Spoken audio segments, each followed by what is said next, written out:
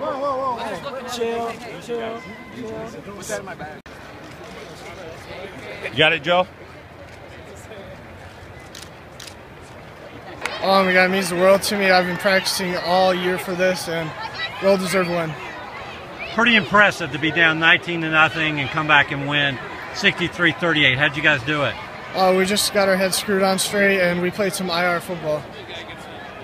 It means a lot, you know, we worked hard every every day I mean, every practice, every time we're in the weight room, we just work hard, make it successful, and we're successful. Well, you weren't successful to start the game. Yeah, we weren't. It scared a little. It scared us a little bit, and then once we came back in that first quarter, it was nice to know that you know we could run, we could run, and they weren't gonna stop us this time. It's a dream come true, man. Like every time you just, every time you go to practice, you just dream of doing that, being here and winning, and now it happens. This is a dream come true. A lot of gut check, a lot of character to be down 19 to nothing and come back and win that. Yes, it took all heart and um, people from. Oh, yeah. Hold on.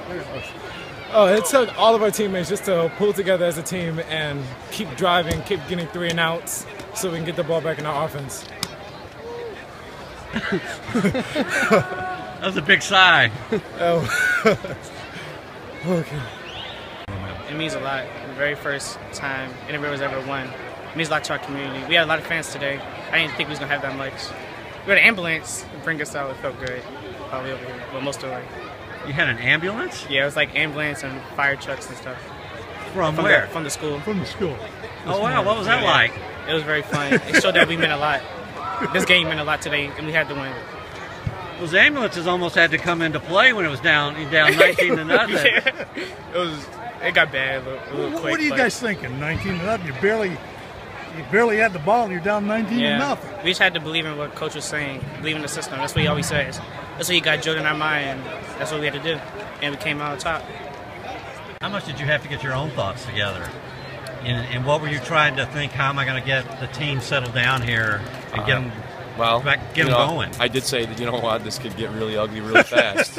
uh, but in the same token, I mean, I just said, okay, guys, let's go. Let's just go play. We we didn't get off the bus. Let's make sure we rebound, and, and they did.